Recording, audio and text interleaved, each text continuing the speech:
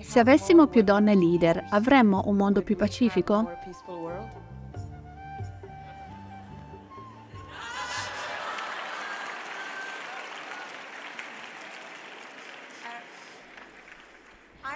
In realtà penso che in questo momento le donne abbiano una grossa responsabilità nel guidare molte delle trasformazioni che stanno accadendo attorno al come definiamo il successo, come definiamo il lavoro.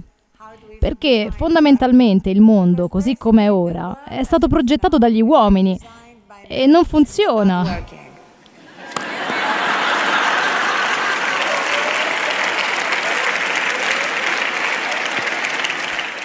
Ci sono ci sono alcuni bravi uomini che sono molto necessari.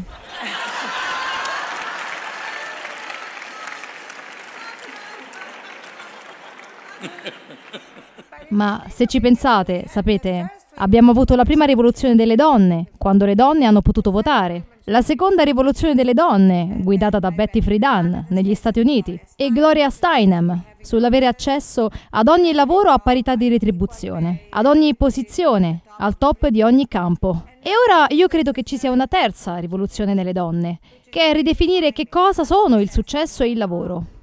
Quindi, invece di dire semplicemente voglio essere con te al vertice, dove sei tu? Dire solo è davvero questo il modo migliore per gestire un business? È questo il modo migliore per gestire il nostro mondo? E le donne stanno dicendo no, Molte, molte donne stanno dicendo dobbiamo veramente cambiare la struttura delle imprese in cui ci troviamo a competere, cambiare il mondo politico in cui ci troviamo a competere e non soltanto competere nei termini che gli uomini hanno creato. E sai una cosa, quando questi cambiamenti avverranno e stanno avvenendo, gli uomini ne saranno incredibilmente grati.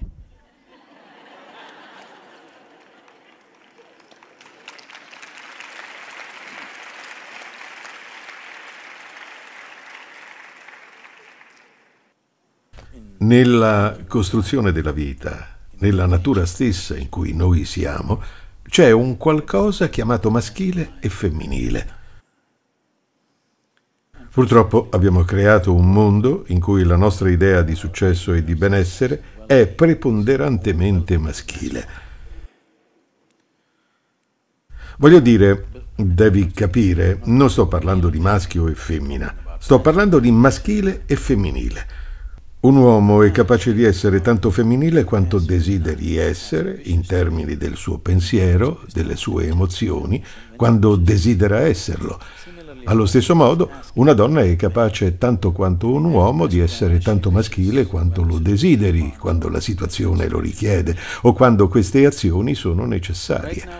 Oggi abbiamo creato dei sistemi educativi che sono puramente maschili che stanno formando anche le donne, che ci piaccia o no. Purtroppo l'idea di successo è diventata maschile.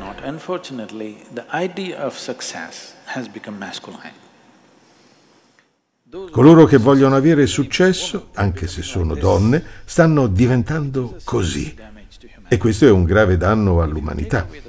Se il femminile viene portato via dal mondo, tutto ciò che è dolce e gentile, tutto ciò che è bello, tutto ciò che è estetico, tutto quello che è l'aspetto più sottile della vita sparirà ed esisterà soltanto l'aspetto della sopravvivenza della vita.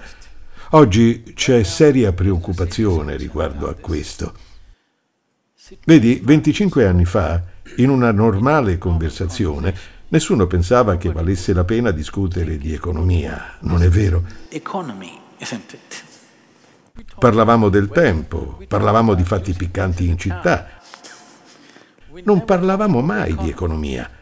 Oggi, in ogni conversazione, tutti parlano di economia.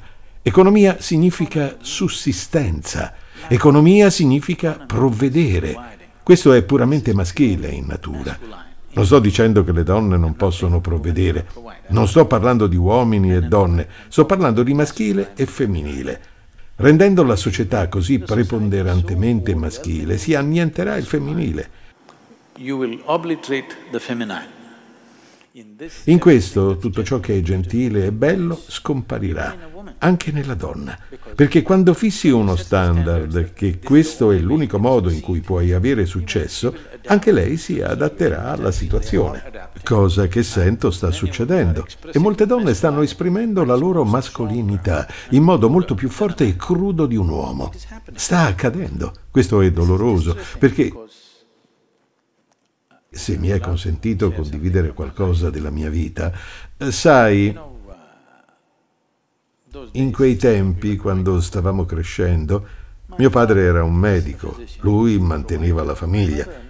Mia madre non ha mai guadagnato una rupia nella sua vita, ma non è mai esistita la questione che lei fosse considerata inferiore se non guadagnava. No, lei era la persona più apprezzata. Da bambino, quando guardo indietro, con tutto il dovuto rispetto, quando guardo indietro e osservo per il modo in cui si è evoluta la mia vita, avrei molto facilmente potuto vivere senza mio padre, ma non posso immaginare la mia vita senza mia madre. Lei non ha mai guadagnato nulla, ma non è questo il punto. Da dove venivano i soldi non faceva differenza, ma come veniva condotta la casa era tutto. Devo raccontartelo erano i dettagli. Lei faceva tutto in casa, dal cucire al ricamare, al cucinare, tutto, perché non voleva che nessun altro lo facesse per suo marito e i suoi figli.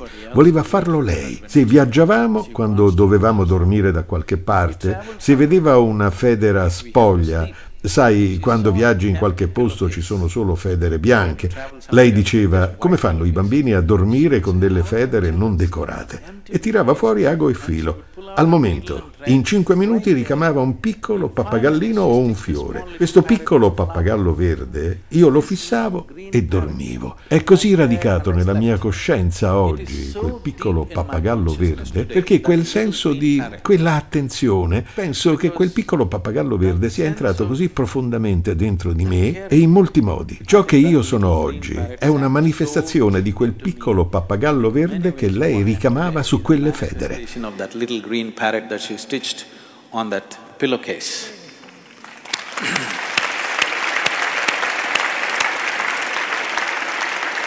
Quindi questo è il femminile. Non sto dicendo che tutti devono ricamare, sto dicendo quel senso, quel senso di amorevole attenzione è femminile e questo deve accadere. Nel sistema dello yoga, sai, Hatha Yoga è una parola comune che viene usata ovunque, generalmente senza saperne il significato. Hatha significa Ha, significa sole, Ta significa luna. Questo significa bilanciare il maschile e il femminile dentro di te. Solo quando queste due cose sono propriamente bilanciate dentro di te, tu sei un essere umano completo, altrimenti sei un essere umano sbilanciato. L'Adi Yogi, che è l'originatore dello yoga, lo so che in California voi pensate che sia stata Madonna a farlo. Adiyogi è rappresentato come il supremo simbolo dell'uomo e in tutte le immagini in cui viene rappresentato una metà di lui è uomo, l'altra metà è donna. Lui è l'uomo assoluto, ma una metà è donna, l'altra metà è uomo, perché un vero essere umano è un pari equilibrio tra maschile e femminile. E non capisco perché nei posti di lavoro essere uomo o donna dovrebbe essere un problema. Perché dovremmo sempre guardare a qualcuno come a un uomo o come a una donna? Possiamo vederli semplicemente come esseri umani.